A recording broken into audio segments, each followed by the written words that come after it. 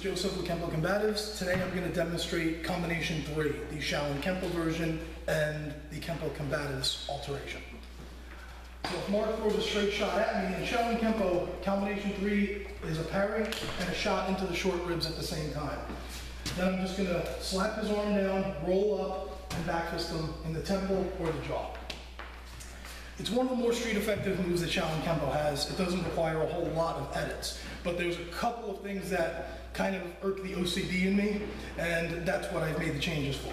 So the first shot, I didn't change anything. That's, that's excellent.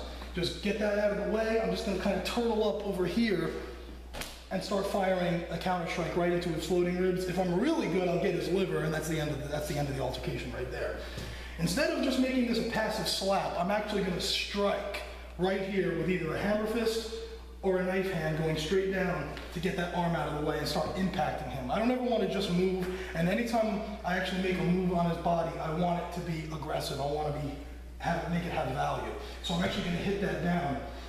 And this back fist I've never liked because if I miss and I'm off target perfectly with these knuckles, I'm exposing all the little bones in the back of the hand right here, all the little metacarpals, and those are gonna, if I hit his skull with those, I've got broken knuckles at this point.